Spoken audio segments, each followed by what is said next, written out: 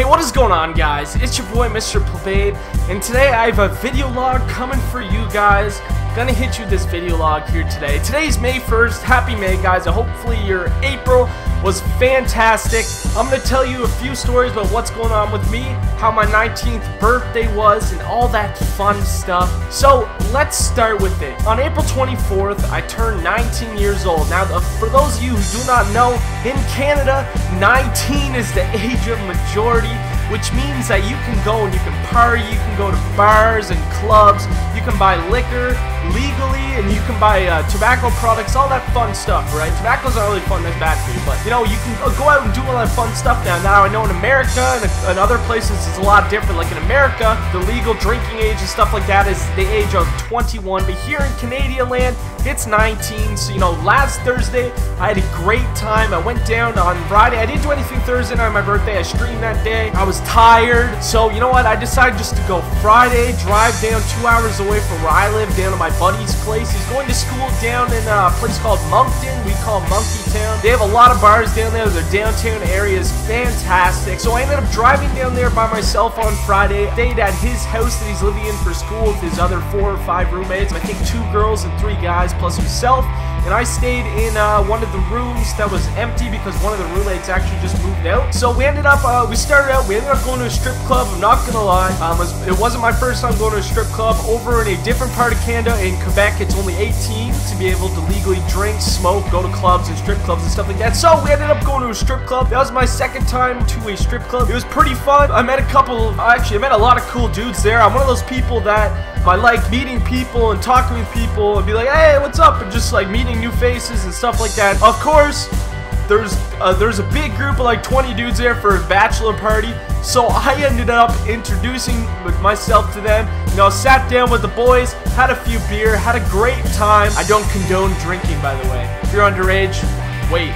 You'll have a lot more fun. Anyways, so I met I met a few new boys, sat down with them, had a few beer, had a good laugh or two, and then we went up to the front where the ladies are dancing on the poles. It's just, if you're not old enough and you're a gamer, whatever, you have gone to a strip club on GTA, I guarantee you have. Runs exactly the same way, no word of a lie, I'm not kidding you. The guy that was getting married, that it was his last night before he got married, he brought like $200 in American dollar bills to the strip club. So every time he seen a nice girl, he could just scrunch one up and throw it at her right onto the stage. So he started handing us all dollar bills and telling us so that when he counted down from three to one to crush that bill and throw it at that stripper. And of course, me being the guy that I am, that's exactly what I did. Oh, it was a great time. We had a fantastic time. Got a few dances. Then we were out of there. We didn't want to stay there too long because if you don't know, it's expensive to get a dance from a stripper. It really is.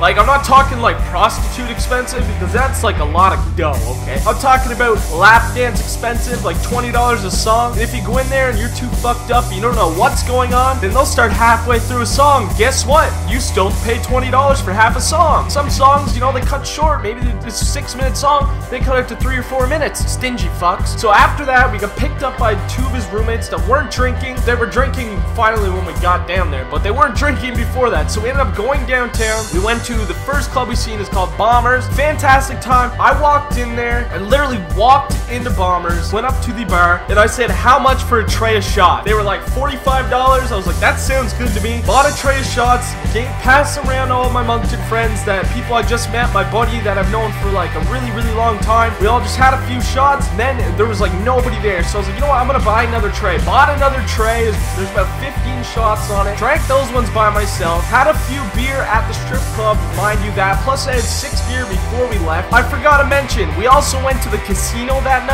My first time going to a casino, I literally sat down at a roulette table. It's like the one, they take the ball and they spin it around the outside and it lands on a number. I had absolutely no idea what I was doing. I'll keep that in mind. So I literally sat down, I handed her four, I put $40 down on the table. You have to throw it down. You can't hand it to them. So it just was like this. Threw down two $20 bills, Canadian bills. She gave me my chips, and I was like, okay. Now, my birthday was on April 24th. Today's the 25th. Now, am I gonna go on the inside or the outside? Now, if you if you play on the outside, the outside you have a 50-50 chance. You can put it on red or you can put it on black. The numbers are red or black. Sometimes there's like a few beige ones, but it will like never land on that. If it does, then like what the fuck? I put it on black. I was like, black. I'm feeling black. Guess what? Black it is. He putting it on black. I'm like, black, black, black. All my friends like, no, no, no, no, no, no, no, red, red. We're gonna put it on red. It's like whatever. I'm staying on black. Don't even, don't even worry about it. Ended up winning again. I'm racking up the money. I'm like, ooh, this is crazy. So I'm like, hey, put down $50 on black for the third time in a row. Everyone's looking at me like, what? No way. We're going to win red this time. So they, of course, they all put all their chips on red. Guess what happens? Who's a winner? Three times in a row on black in roulette.